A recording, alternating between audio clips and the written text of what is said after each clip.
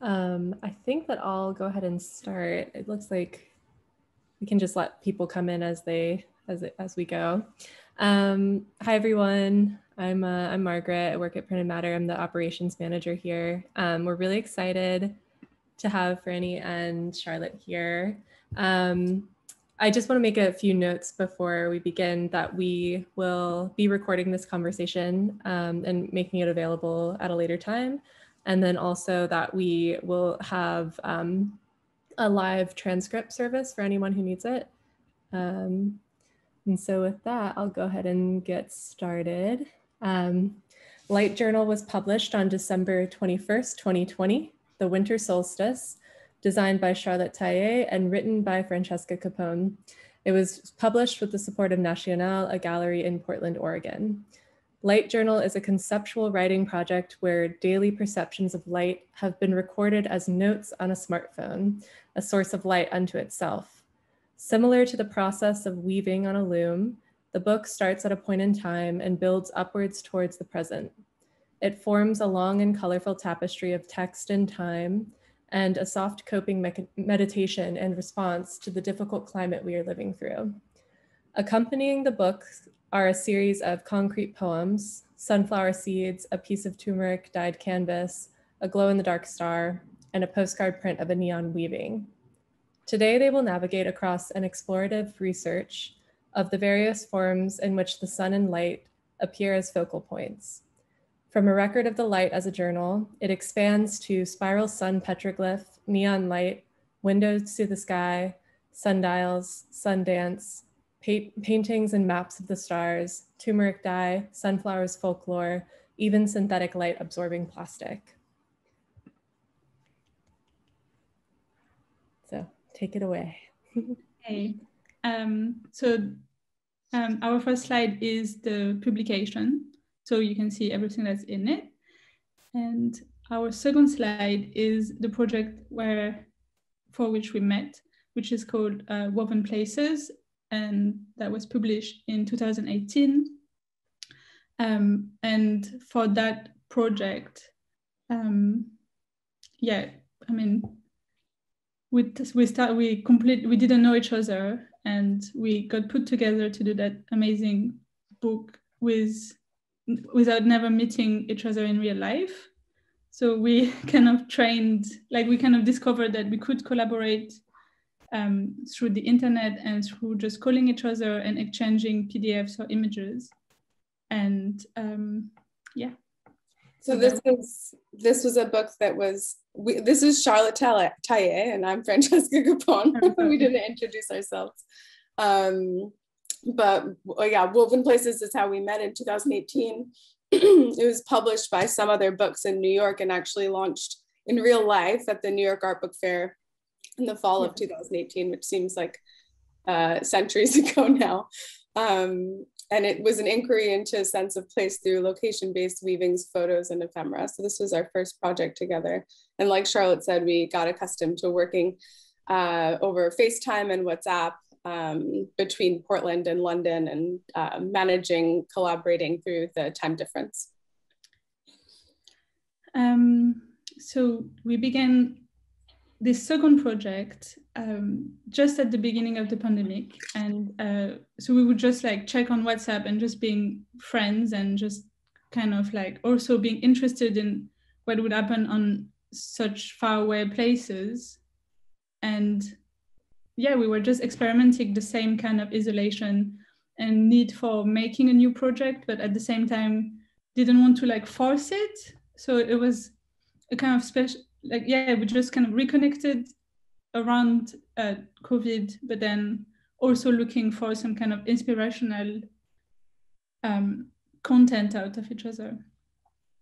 Um, we began discussing light journal as i was uh, had just started writing it and was thinking about the design of it. Um, and more so we just explored the idea together. So what exactly is light? How do we perceive it? How does it appear in the lives of people and the marks or movements that they make on the world. Um, and it occurred to me that when Charlotte and I, so this uh, presentation that we'll, we'll, show you is like a document that we passed back and forth and sort of added research to. And as we were kind of polishing it up for this um, to share with you all, I realized that actually because of our positions on the earth, Charlotte and I pass the sun back and forth, just as we've passed ideas back and forth. So my day is her night and vice versa. So Charlotte will work on something during the day and then pass to me. And, um, and when she's sleeping, I'll be working on the same thing. So that was kind of a lovely idea that we uh, realized. Yeah. Um, so this is the beginning of Francesca's inspiration, which is your most beautiful book for me. So this uh, the practice of creating light journal was in tandem of making um, weavings out of led and neon um, which typical my practice i'll work in the woven form and in the written form sort of simultaneously. And when i uh, started meeting with charlotte about the possibility of transforming the journal into a book i shifted from seeking light out in my visual environment. So was seeking light out uh, to record the book and then also in uh, the creation of these weavings um, to seeking uh, out light in research and then seeking out Charlotte's light, her actual intellectual light bulb, um, which interests me so much and brought so much joy to, and discovery to the project. Um, so the light expanded from uh, the work that I was doing sort of uh, in my personal practice to being seen in my friend and collaborator. Um, this is a collection of our kind of glossary of books. Um, so she, Francesca, brought me her text in like kind of a, not a raw form, but it was you know was kind of fresh out of her um, phone and out of what she just wrote without being edited or anything, and it just became this shared resource that was so grounding for where we're going to go with that. Um, and we, we both began to look into the history of light and what it can be, entail for in relation to the text. So, because it's such a it's such an enormous and so vague uh, concept, light and sun is just it kind of go in every direction. And her poems were very, very like were a way to kind of centralize uh, what like if you just look at your library you just see everything can be about sun and can be about light or like there is always something that can pull you out in a direction. And uh, so this is the kind of this is where we kind of started. It's i think just typical for both of our practices to start with books. Often for me my, my writing practice even starts with uh, pulling from existing books. And i think Charlotte being graphic designer, of course, that's a huge point of reference. So um, this is only a, a, few things, but really like a whole library formed of sort of books in relation to light uh, as we started collaborating on the project.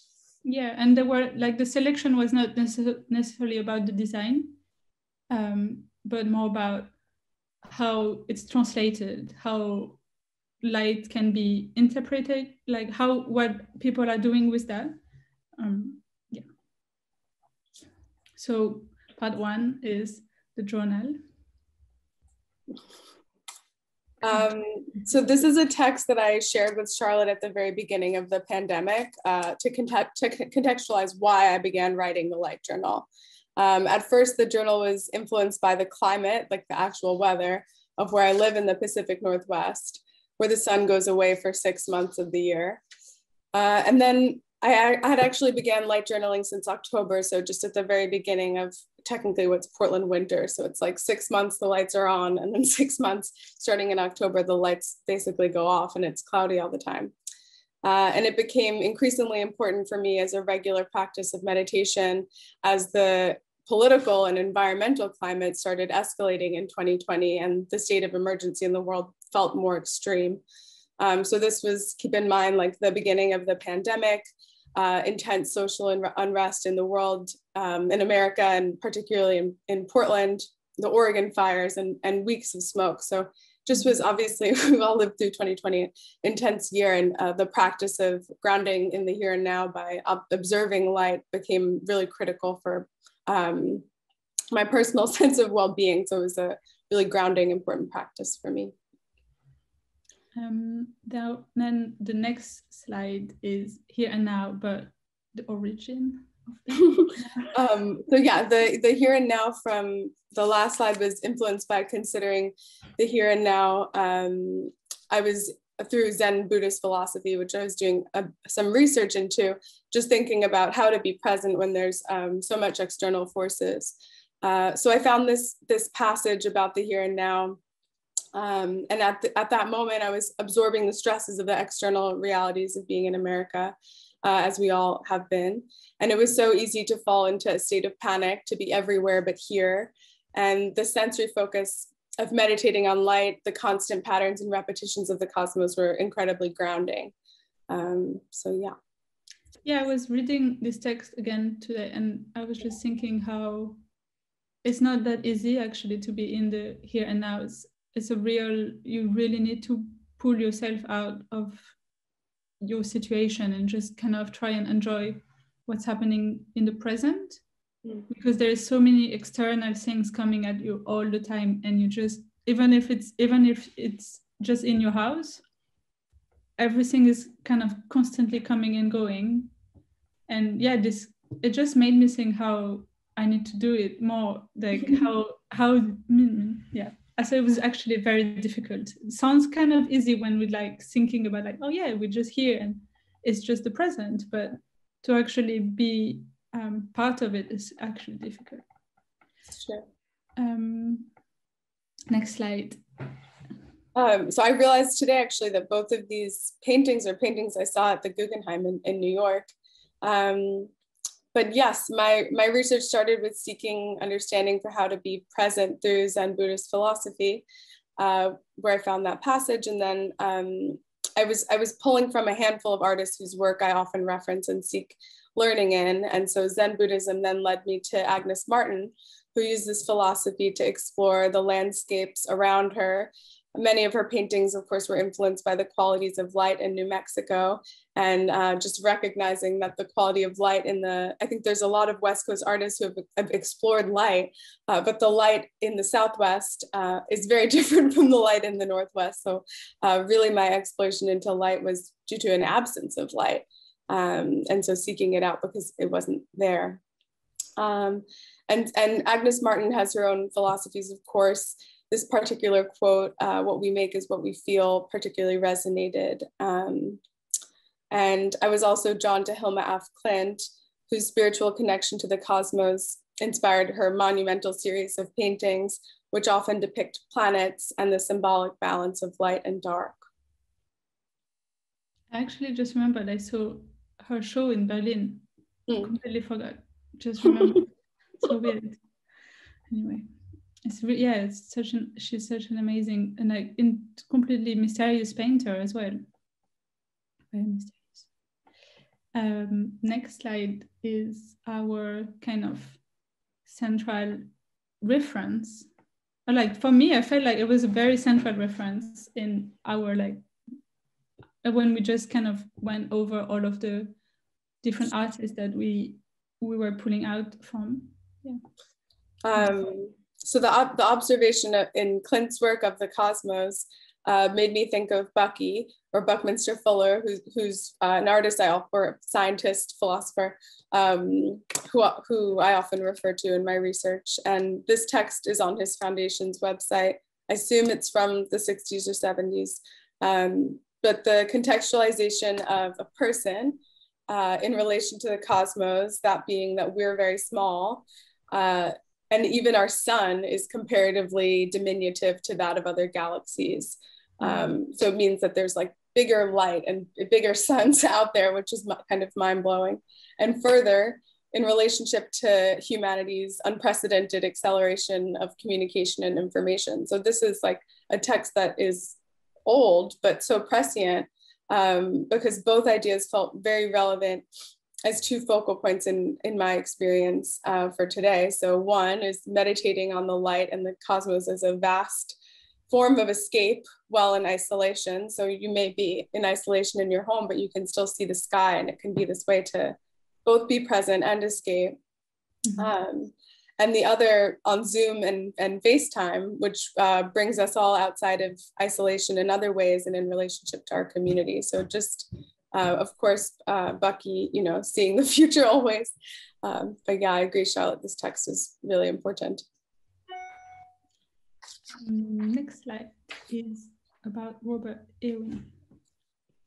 So thinking about perception, um, that the perception that Bucky relates, and then reminded me of Irwin, whose work I was looking at while developing the LEDs uh, woven pieces. And this quote came up for me quite a bit while writing the journal, uh, just being frequently amazed by the concept that the world of shape and color ceases to exist without light to illuminate it or without the eye's um, ability to perceive it. So just this idea that um, when your eyes are closed, nothing is there, but also if nothing, if this sun is not touching anything, you also can't see it. So it's almost like there's nothing without sunlight and everything is touched by light in some way in order to exist. Next slide is um, James Turrell. um, slide, slide. um, so I mean, also I think like you can see visually that like this idea of the circle becomes, of course, a central theme uh, in the in the artworks that are being influenced, and and the colors, of course, of, of blue and yellow become apparent. I think. Um, but yes, Rob, uh, James Turrell. So James Turrell, Turrell's work is of course critical when researching the perception of light and light as a medium. Um, and this idea of not seeing light, but rather what light reveals and the importance of tuning in at the transitions of light. So at sunrise and sunset, and actually in Portland, even when it's like pissing rain all day long and uh, you don't see the sun for days, typically it does briefly appear at sunrise and sunset. I don't know what it is about the climate here that, that permits that, but um, that I just uh, think that idea of tuning in at transi- transitions of light is really brilliant and, and when it's kind of most interesting. Um, so these were both fundamental ideas that appear in the text of Light Journal. And typically, like in the book, there's um, events uh, which is really su basically subtleties of light that um, where something appears to be kind of like happening. And um, a lot, oftentimes that happened at transitions. So this felt very much present uh, in the practice of recording light in the mm -hmm. journal. Our next slide is Roland Barthes, which we updated just today with those amazing pictures. yeah, so this is a text um, which Charlotte informed me was published posthumously. And I often reference the work of Barthes and um, discovered this portion in an essay of his book Incidents, where he recognizes light as an actor and also a medium for art. Um, and this was at this nightclub called uh, Les Palaces, where there's this neon sculpture. But um, actually this became um, apparent to us just recently. I, I, thought that it was in reference to like spotlights but it was really more about neon sculpture which is amazing um, and, yeah. and such a wonderful poeticism that um, charlotte actually pulled these images up recently. Um, but i guess what resonated with me about this text is just that he recognizes light as an actor and a character and this is something that actually occurred naturally to me as i was writing. Um, light journal, but focusing on the movement and the presence of light, the moon in particular, becomes a character in in my life and therefore a character in the book as I'm perceiving it. So it would appear on the floor in my living room, um, or in the bathroom, or at the foot of my bed, all of which are documented. And it was always felt very dramatic, like the moon was present with me. And of course, you know, as we can all relate, I was like relatively alone most of the time in isolation. So the presence of the moon became an even stronger realization and character when it would show up uh, in the room with me. But yeah, we love this image of uh, Barthes in the, night, in the nightclub. yeah, they're really amazing. yeah. Cool, what a cool nightclub. Yeah. Anyway, um, so that's the last slide of the part one. Which yes. is about Suzanne Tick. So Suzanne Tick is a New York artist and designer working mostly in weaving, and she's a big inspiration to me. Um, and this work came up when I was starting to weave with LED and neon and was curious if it had ever been done before.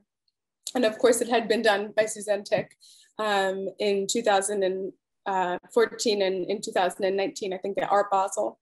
Um, and just thinking about the way the light moves through her pieces though they're quite static, um, that was particularly interesting to me. So this idea that light is always in movement, actually, even when it appears to be still. So think of the slow rotation of the sun through the sky, the pulsing of neon through a tube, uh, the vibration of a light bulb, etc. It's almost like you really have to tune in to see it, its movement, but but it's always there. Mm-hmm. Um, and then our conclusion for part one, which is um, is the only part that has a conclusion. Um, but we felt like because this first part is um, kind of unfolding of Francesca's um, references and inspiration, um, it kind of came together because so this conclusion is about color and her inspiration in color, but the whole each poem is very much about colors and the sun um, in relation to light and what it creates and what it reflects. So we felt like this needed a, to be a little bit apart. Um, so yeah. So yes, um, thank you, Charlotte. Uh, I wanted to be clear because it's kind of weird to have conclusions like in the middle. Um, so yes, so Etel Adnan um, so the color of the sun, as Charlotte mentions, is an evolving theme in the book. Um, and the color of the sun varies, of course, throughout the day. And uh, in Oregon becomes red during fire season. So in Etel Adnan's paintings of Mount Tam, the sun often shows up in a different color or sometimes shape um, and is always present. And this painting in the middle is here in Portland in a private collection that I love to visit that's called the Lumber Room. Um, and the sun in this painting is pale, is red on a pale yellow sky and feels very connected to the um, atmosphere that was here in Portland in, in August of 2020, uh, where the sky was like enveloped in smoke, but still the sun came through as this like red color and the sky was almost yellow. It looks identical to it. Um, do you want the next slide? Yes. Thank you. Um, so this text I discovered um, at Bourgeois show at, at MoMA in New York. Um, and there are portions of the book in Light Journal that take place in New York because it's my home and I often visit. Um, and it's amazing to me revisiting this text as we were kind of doing the, the research um, because the skies that she described in the book are or in this text are exactly like the skies that I describe in the book. Um, so this like utterly blue and glorying white uh, that bourgeois references is, is very much um, mirrored in the passages uh, in Light Journal that, that speak about the skies in New York. Mm-hmm. And also, sorry, one more thing, the way that she compares the light to Paris, and she kind of like, it seems like a little bit resents Paris actually definitely resonated with me as well, just thinking about being in Portland and the, the quality of light versus, which is of course very different in the summer, but um, versus the sky in, in New York. So for me, I had a different parallel of comparison, but still uh, resonated in the, in the almost like resentment of Paris and in my case, Oregon.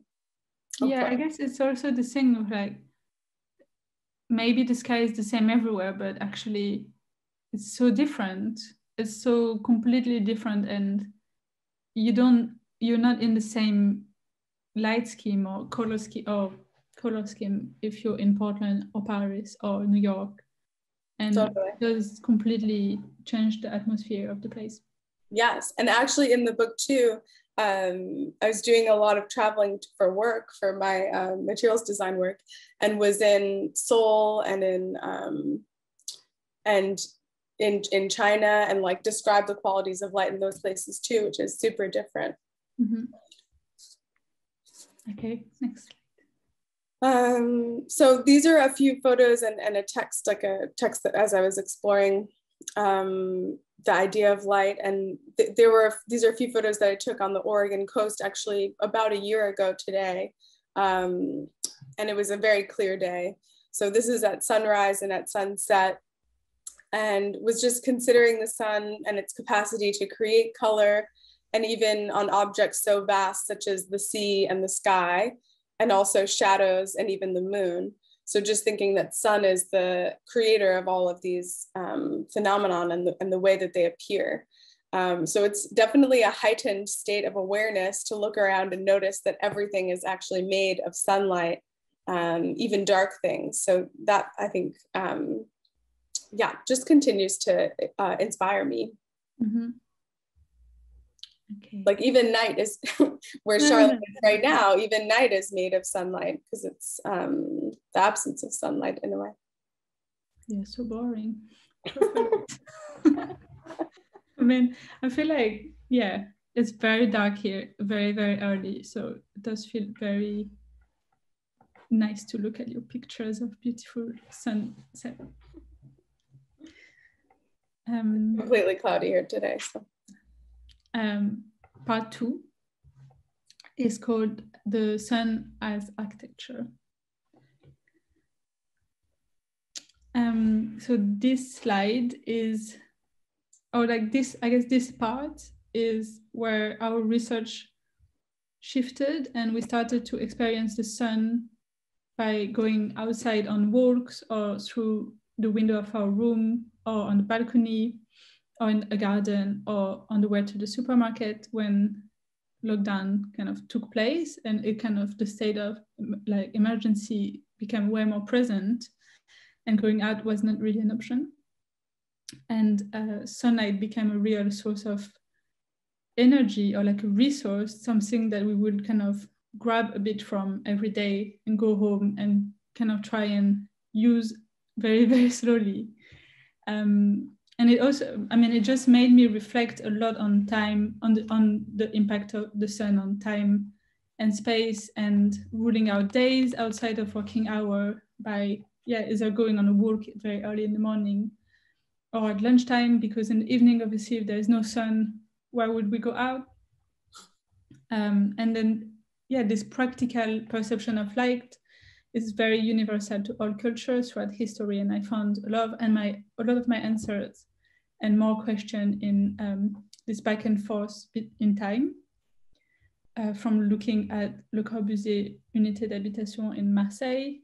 Um, and I went to, this is a picture of me visiting it a few years ago um, and looking at the sketches that Francesca brought in, we kind of connected on this idea of distributing light throughout the day and how it will come in our living space. Um, this book, so my dad is an architect and has amazing library, and I found these sketches in an old Corbu book.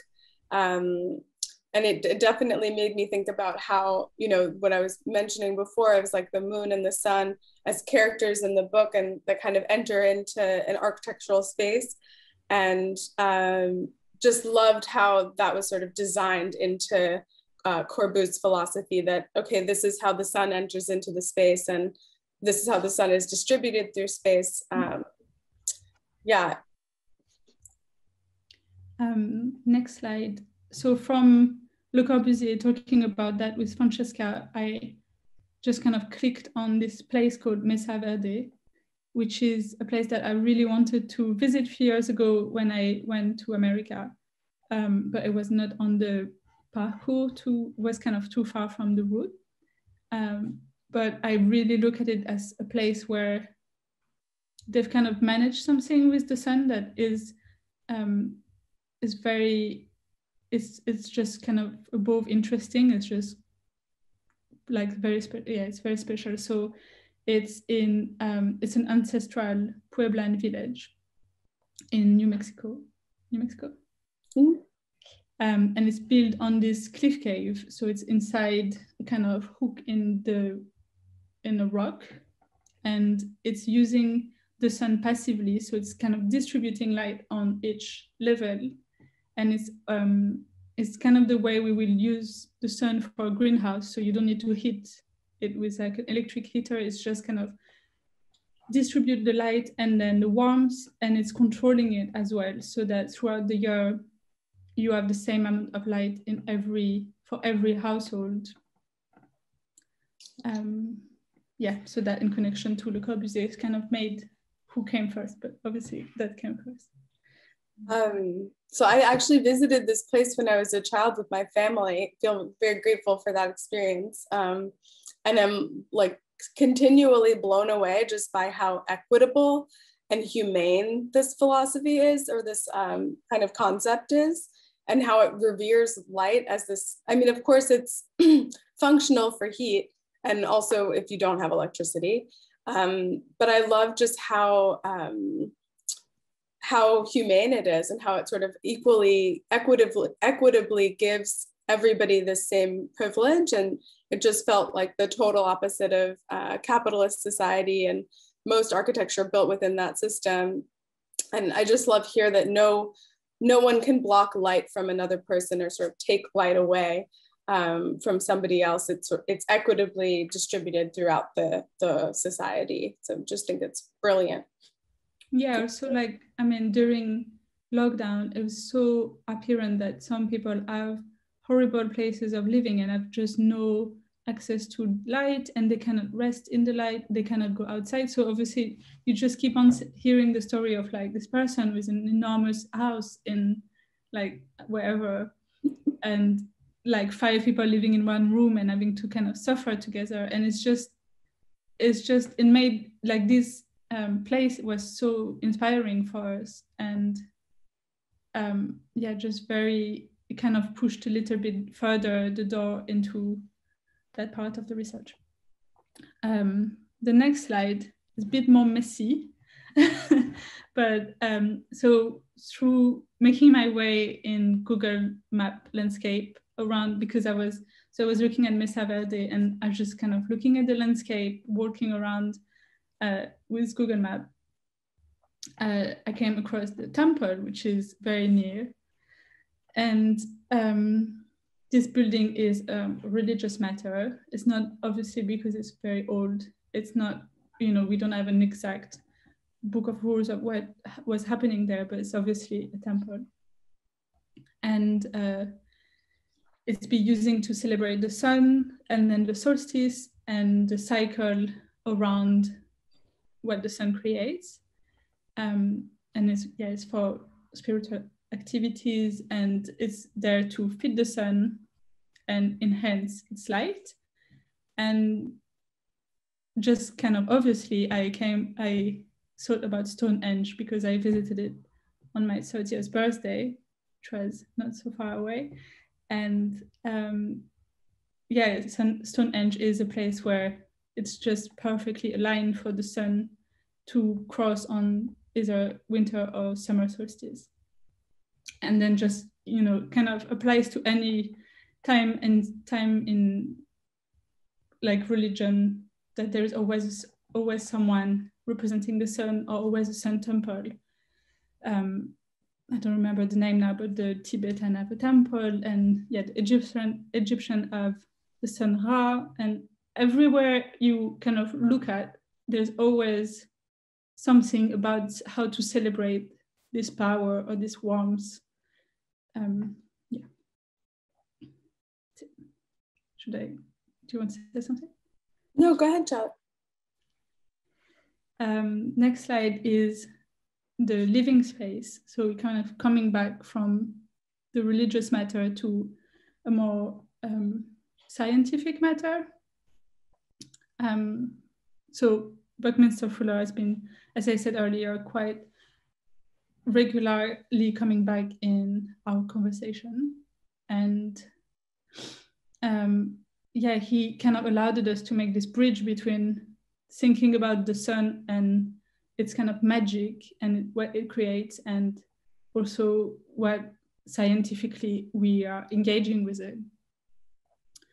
Um, and also just being able to live in a space that doesn't feel claustrophobic with um, a more welcoming light that is not just like in our dream, but also can be like I feel like I felt like he gave a lot of proposal on how to make our living space so much more welcoming for light while being indoor and uh, the geodesic geodesic dome is one of the kind of living space that felt the most accurate for it it's almost like um, a lot of the or some of the research took the shape of definitely being influenced by being in isolation and being influenced by the idea that you could be in an architectural space where you're inside uh, but able to see the passage of the sun across the arc of the sky or able to um, have the sun allow your uh, um, the sun enter your interior space. So this idea of being in isolation influenced the research because of course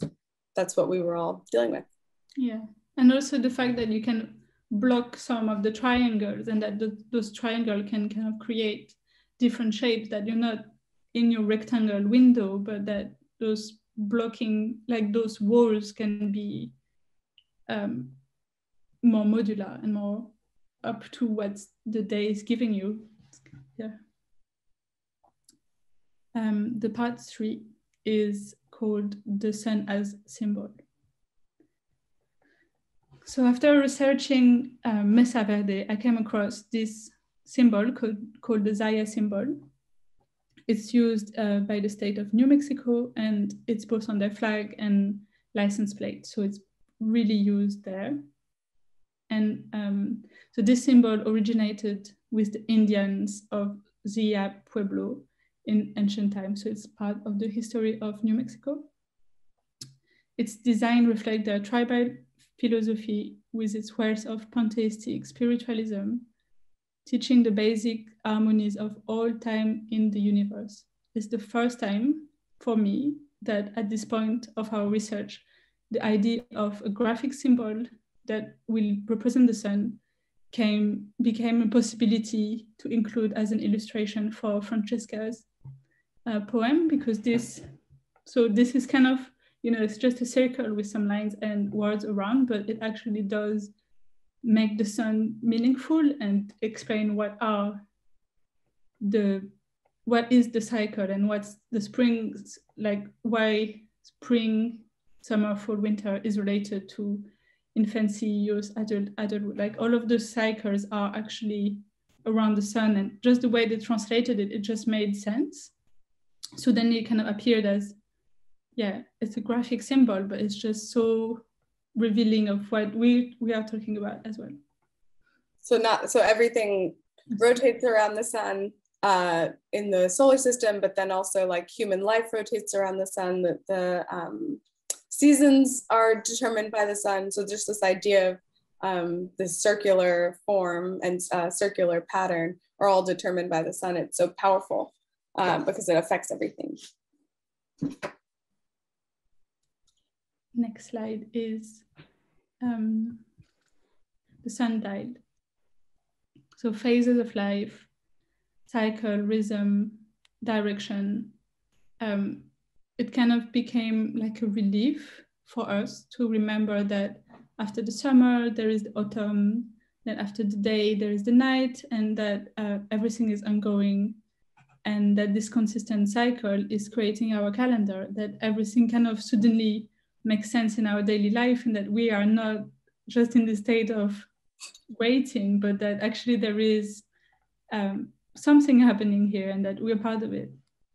Um, so you can see here I've put some example of uh, the Aztec calendar and the stone that is the most kind of famous um, one that is, um, sorry, this is my line that is used to um, predict sun cycle, uh, to predict solar eclipse. So it's not exactly known how, like how it was used, but it's for sure known that it was used to um, predict solar eclipse. So how, it's kind of a mystery a bit, but uh, you can also find them actually everywhere on the planet. You can have, yet I think there's one in Portland. Um, and you can also make your own just using a stick and YouTube and putting it in the ground and trying to kind of make a radius around and you see the time passing and you can build on your own clock and from there having a kind of calendar and knowing where you are, what time is it. Um, sun markings. So this is um, a slide about how to mark the sun passing. And we became a bit obsessed with people who are marking the sun. And we are actually part of a bigger group of people in time and uh, space that are marking the sun and the passage of the seasons by just drawing a spiral on um, either on the ground or obviously this is on stone. Um, and it will be um, a place that will be where the sun will pass through year after year in a perfect line uh, between rocks. And it will make this perfect line in a never changing landscape. So you kind of need condition for it.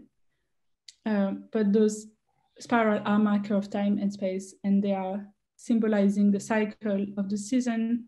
And in a way, like the center of the spiral is the sun, and everything that is evolving around it is the other planet or the season or wherever you want to read into. Also, just this idea of a never changing landscape, I think uh, resonated with both of us being kind of um, stuck where we are um, and having the sun pass through and having it mark the spaces that we're in. Um, yeah, it's just a um, connected to all humanity since the beginning of time, I think was just inspiring mm. uh, to recognize. Next slide. So, so this is um, Bruno Munari. So this is an uh, example of someone who looked into the symbol of the sun and its eternal rotation um, and, and the forms that it takes. So he has um, this amazing series of books that are uh, that are you know very pedagogical and kind of structured around doing workshops and giving classes. And so this book um, how to draw the sun is something that I used. I during the pandemic, my niece and nephew were not able to go to school, so I was giving them art classes over Zoom.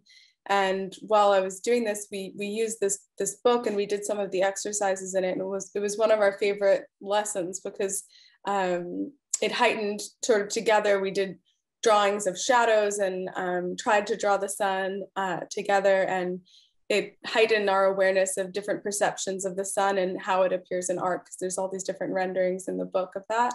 Uh, but it was also just wonderful to explore with children their perception of the sun their perception of the uh, shadows that the sun cast. And um, so yeah this book kind of came up for me in a few few different ways.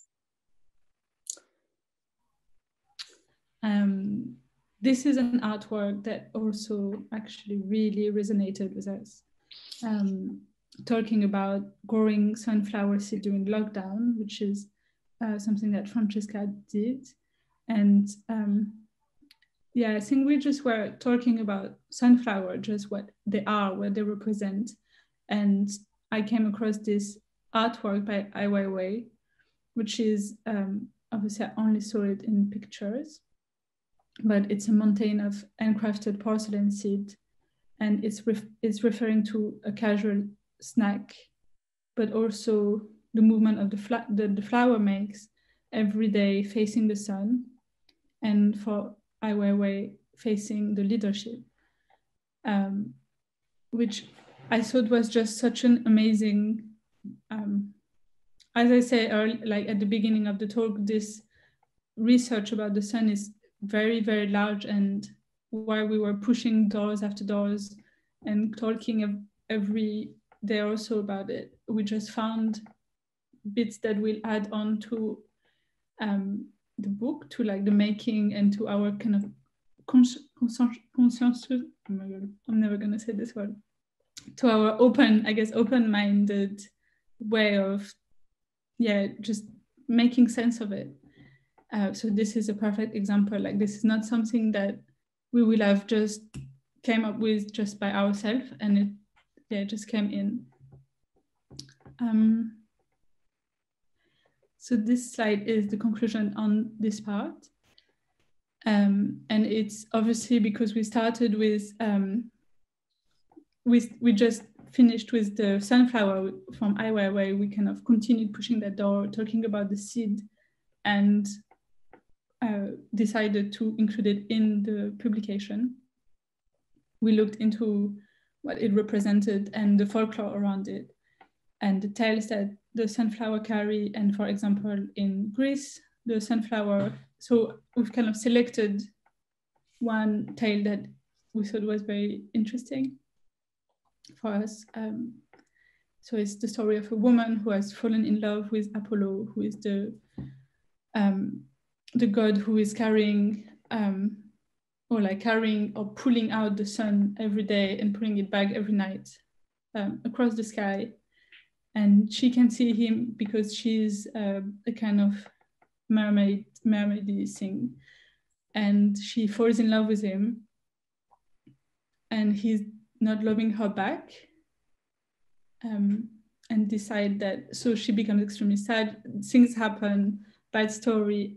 Uh, she's transformed into a sunflower that is ended up being turning her, her head around to see him every day and then falling asleep every night. So quite a sad story. It's a love, yeah, really love, love story about the sunflower. So it's full of meaning. There's something about it in everywhere. Um, part four is the spiral and petroglyphs. The final part, yeah? It's the final part. um, da, da, da. I spoke earlier about the marking of the sun and uh, the winter and summer solstice and the spring and the fall equinox and the lunar cycle. So it's a lot of marking and it's a lot of meanings as well. And this is an example of this amazing place called the Sun Dagger, that you can uh, go visit and admire the precision of the marking and how it exactly says where things, what things, you know, you can see it on the drawing. Summer, spring, and fall, winter, Um, so it's pretty accurate. It's not just a spiral on a, on a rock. Um, so looking at lots and lots of spirals, I came across this stone called the uh, Cochno stone. And uh, this slide is really when everything came together for me graphically. And it's, so it's showing photographies of this stone in um, West Dunbartonshire in Scotland. And it's dating from the Bronze Age. It's measuring 12.8 by 7.9 meters, so it's really big. And it's actually buried so underground. So they unbury it, take pictures, and then open it for visits. And then people started graffiti, putting graffiti on it. So they just covered it back. So you cannot just visit it. There's only pictures of on the internet or documentaries. Um, so what's very specific is that the whole stone is carved with spirals, sorry, cycles and lines, which are called petroglyphs. A petroglyph is an image carved in stone, often associated with prehistoric era. Uh, they can be found all over the world, and in this instance, in Scotland. So this particular stone is very, um, it's very special to me, and it's because it's been interpreted as a map of the sky, and it's a tentative to record and explain the movement of the sun and the solstice. So they're not just doodly graphics, um, circle and spiral, but they're more annotation and translations of the movement of the sun, which are really related to Francesca's journal.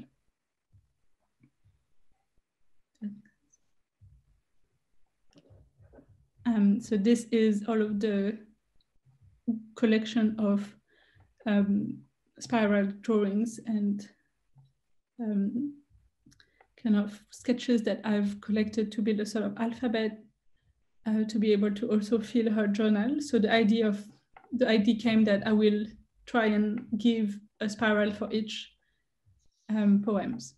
So they also became a bit like doodles and graffiti, and they became a kind of disruptive mark on her words. Um, Charlotte's research into petroglyphs also um, that were geometrically proximate to her being in London, because that Cochno stone is in Scotland, um, it heightened my awareness to uh, petroglyphs that are in Oregon. And um, I have a friend who works uh, in, in the environmental field, and he made me aware of this book that has all like documents all the sites for where petroglyphs are all over Oregon. Mm-hmm. Um, mm-hmm. And I had the chance to visit some of them. So just this idea of the, of the petroglyphic and the symbols and the symbolic language in petroglyphs became a big theme for both Charlotte and I and appear all over the book.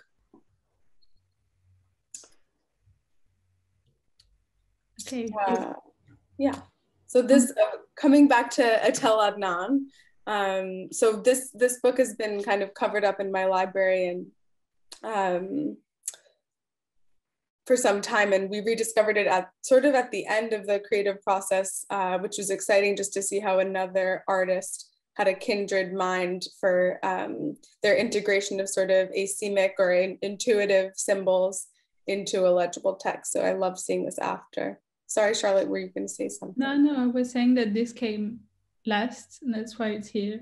Yeah. It's very, it was very nice to find um, a publication that we felt connected to at the end of the project. That's it. Very beautiful work. Mm-hmm. so our kind of conclusion on this uh, publication is um, the concrete poems that we so yeah we started to think about adding more to the book because francesca was experimenting with lots of different things and i just saw that everything was actually connected and could be reduced in a way that would be just a sample of her work or like a sample of her experimentation or put in with the book and that will actually make sense and add on to um, the meaning of her journal. So the first add-in was um, what sparked the journal, which is the, the neon light. So yes, this um, is an image of a neon weaving, uh, which was intended to be mailed as a postcard. So when I created the weavings, they were actually exhibited um, in the middle of the winter in, in Portland at Nationale, um, you know, when it was raining and dark. And um, so the intention of them was to spread light and to kind of also during the pandemic, uh, people weren't able to um, go inside the gallery. So we put them in the windows so that uh, when people were on their evening walks or passing by, they, the lights would turn on um, at sunset every day. And so just the idea of spreading light was, was very significant part of the um, project in terms of the, the book itself, but also the exhibition light journal. Um, mm-hmm. And so putting it on a postcard is like further way of being able to, you know, put a stamp on it, mail it to a friend and continue to um, spread light. So that was sort of the intention of why, you know, of course it's an image that relates to the text but also um, it's an it's an act it's an act and uh, way for the reader viewer reader to engage further in the text and participate in spreading light mm-hmm. Um, the, the second um, concrete poem is a bag a yellow bag with some sunflower in it which um, are intended are intended to be grown? Yeah, so this was, um, so the image on the left is of my garden. So I've grown um, mammoth sunflowers and harvested the seeds for two summers now. And the practice of uh, harvesting the seeds and then mailing them out and sharing them with uh, neighbors and friends um, has been a, a, way for me of spreading another way of spreading light during the pandemic. Uh, so the, the, sunflowers shift, uh, as Charlotte said before, their face subtly um, as the sun moves through the sky. It's just an incredible thing.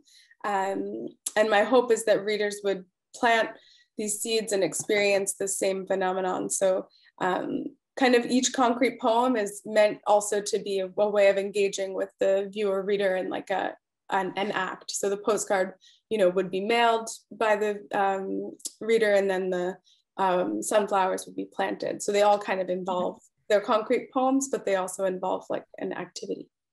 Yeah, and they're all kind of melting into our situation at the time, which was to be indoor, mm-hmm. working on our plants mailing some stuff. exactly. The simple pleasures of being in isolation. Um, the third concrete poem is a turmeric piece, is a piece of canvas, sorry, dyed in turmeric, um, which Francesca started to do very actively during lockdown. Yeah, um, I, I, have been um, dyeing or doing natural dyeing since um, my studies since college, but um, this uh, particular idea felt like it was important for the book.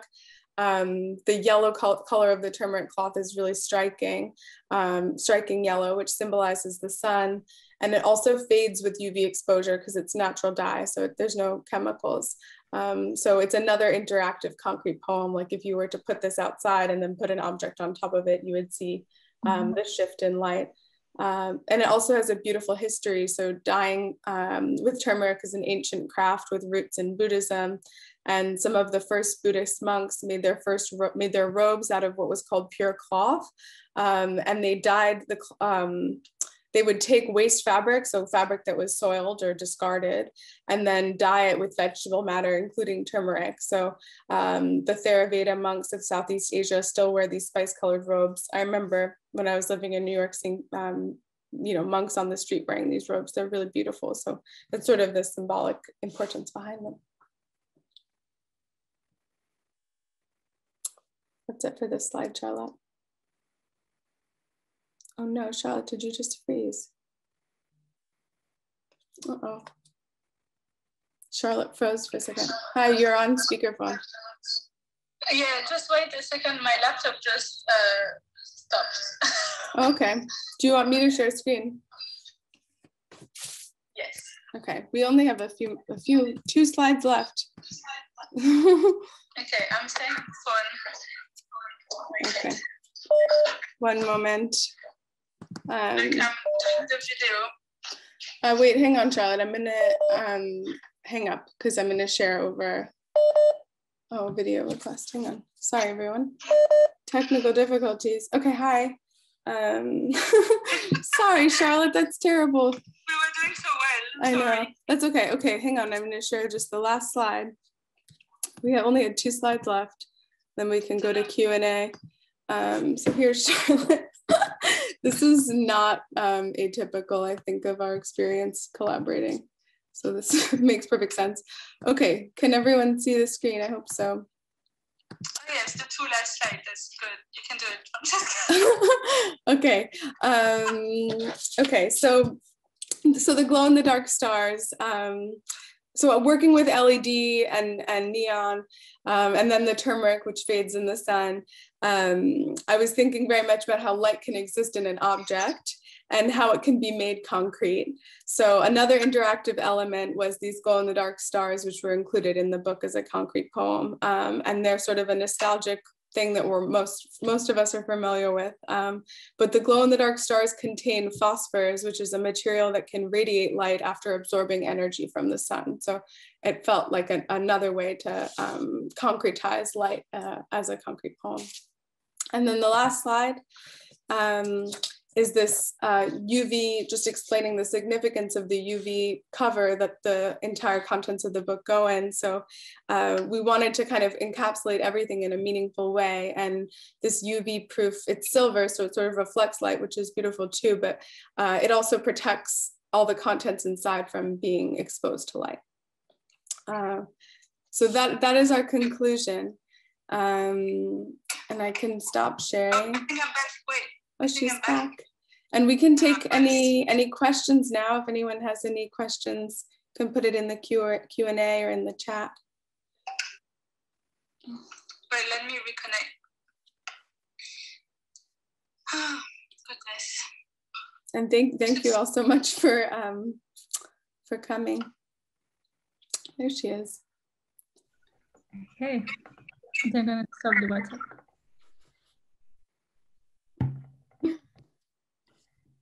Give a few minutes.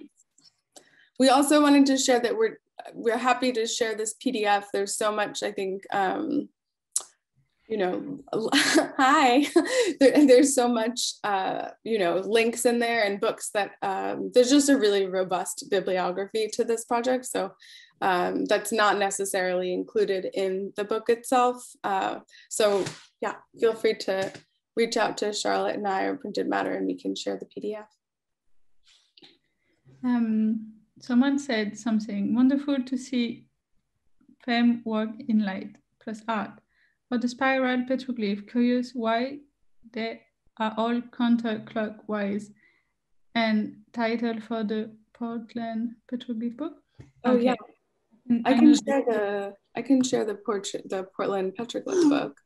It's um, pictographs and petroglyphs of the Oregon country and it's a PD, big PDF. So I'm happy to send it. If you send me an email, I can send you the PDF. I think it's uh, uh, out of print.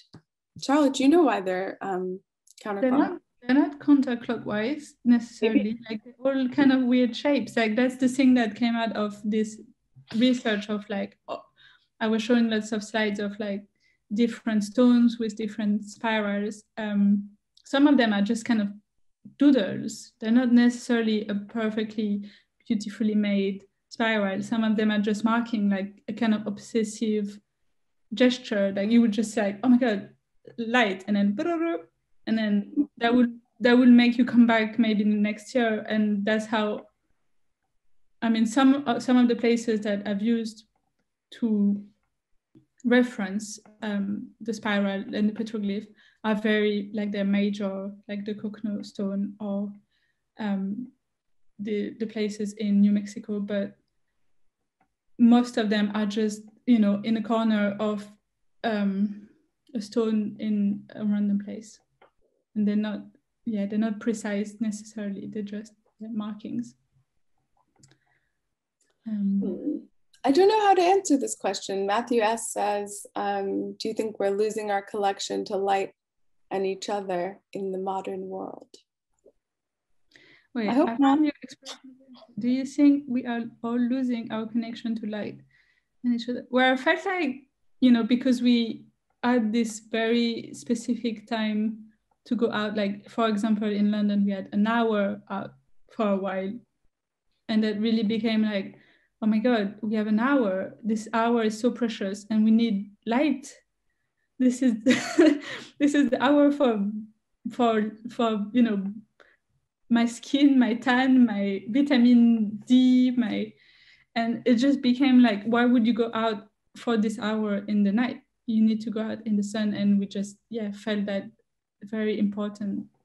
It was very important for us.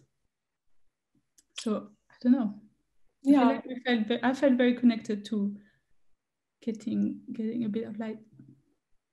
I, I think it's totally been really um, a savior during um, during the pandemic and being able to go out or like needing to go outside to experience it. Uh, maybe when in his in his question he's writing about the modern world, and it's true that when you see, I mean the part that the part of our, our research about architecture, you can see, and there is this um, documentary that we spoke about um, call about this, the the city of New York and the light and the fact that skyscrapers are blocking light. Mm. There is this idea that you know very capitalist idea that the sky doesn't belong to anyone, that you can rise and rise and block the view and it doesn't matter and you shouldn't be paying for it. Um, yeah, this is something that is definitely very negative and belongs to our day and age. Um, yeah, that's, that's a great point. I mean, I also think we're connected more to the light that we see on our devices versus seeing one another. I mean, I have not, I've seen so few people in person um, since the beginning of last March. so perhaps uh, in the pandemic world, yeah, yeah, unfortunately, yeah. I do think I that's. Mean, also, everyone is buying sunscreen for their face to protect from the light of the laptop. really? I've not heard that. Yeah, it's called blue light. Oh my god. Um, um, anywho, well, I think now we're at 10 minutes after the hour, and um, I guess uh, we had one more question about art, uh, female artists who are working with light and art. I guess we had Suzanne Tick. Um, we also had Etel Adnan, and um, we also had Agnes Martin, Hilma af Klint. Uh, in terms of artists working with like neon or LED, I'm not sure. I don't think there's, um, I don't think there's a ton from the research that I've done. But yeah, I think with that we can we can probably wrap up. Oh, there's some, yeah, uh, if you know of any artists, share them in the chat. Thank you.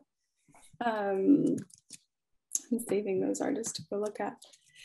So I think um, Margaret, maybe we can we can just thank everyone and wrap up. Yeah, I think that's a good idea. Um, thank you everyone for coming. Oh, I'll turn my video back on. thank you everybody for coming, and um, we'll have this recording up on our YouTube uh, channel soon. We can share the link with anyone who reaches out. And um, thank you, Francesca and Charlotte. Oh, and I'll drop the link for the book too, just in case anyone wants to purchase it. So yeah, thanks everyone. Okay. Have a nice day. Have a nice evening. Have a nice yeah. evening, Charlotte. Bye.